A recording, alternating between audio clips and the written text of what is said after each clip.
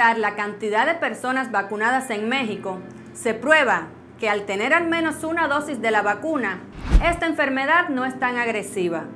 En los adultos mayores de 60 años, esta cifra bajó el 30% y en los de 50 a 59 años bajó del 10 al 4%, demostrando el evidente efecto positivo de reducción de la letalidad, mortalidad y hospitalización a partir del inicio de la inmunización. Andrés Manuel López Obrador, presidente de México, alienta a las personas que aún piensan en si será o no efectiva la vacuna y a los que se les pasó el tiempo de acuerdo a su edad, que den ese paso tan importante para seguir disminuyendo las complicaciones que puedan tener quienes aún no les ha dado COVID o a los que le dé por segunda ocasión para que no sea con tanta fuerza. Y de esta forma continuar en la batalla para ganarle a esta mortífera enfermedad.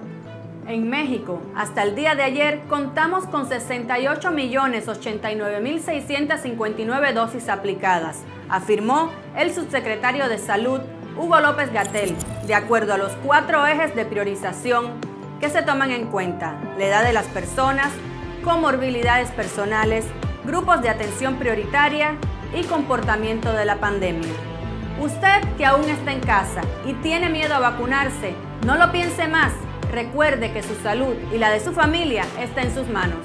Soy Verónica Núñez para Cancún Channel y Contrapunto Noticias. Hasta la próxima. Servicios Estatales de Salud. Evita el golpe de calor. Si presentas fiebre, mareos, dolor de cabeza, taquicardia o calambres, acude a tu unidad de salud más cercana.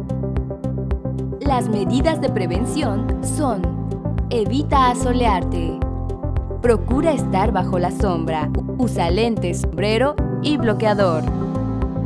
Por eso en temporada de calor, cuidado con la deshidratación y el golpe de calor.